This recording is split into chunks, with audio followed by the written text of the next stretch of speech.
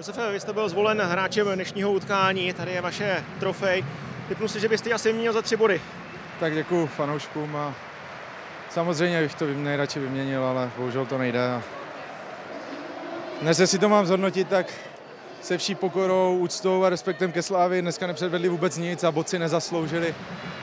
Bohužel odehrajeme vzadu super utkání a pak tam třikrát v, jednom, v jedné akci třikrát uklouzneme a, a je z toho penalta, kterou já nevím, hodnotit nebudu, já nevím, jestli byla nebo ne, to bych to hodnotit nechci, ale, ale je to ztráta dvou bodů dneska. Dá se říct, že vám třeba v závěru utkání došly síly, protože jste hráli hodně náročný fotbal a proto ta chyba?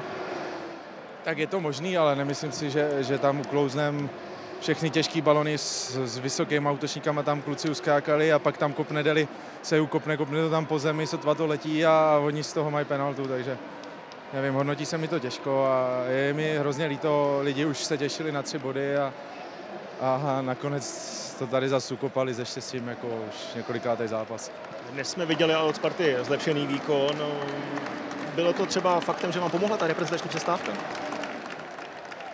Tak pomohlo nám to, myslím si, že jsme dobře potrénovali, jako, jako asi všechny týmy se snaží potrénovat v té reprezentační přestávce a pomohlo nám asi to, že jsme byli dohromady, že jsme se semkli, měli jsme tam i nějaké mimofotbalové aktivity, myslím si, že nám to pomohlo a, a máme na čem stavět.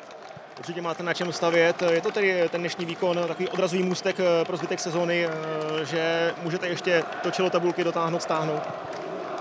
tak dotahovat se to bude hrozně těžko, ale samozřejmě se nemůžeme vzdávat, dokud ta šance je, tak bojovat budeme. My se budeme snažit teď bodovat každý zápas naplno a, a doufat, že, že týmy před náma nejsou v nějaké velké formě a budou ztrácet.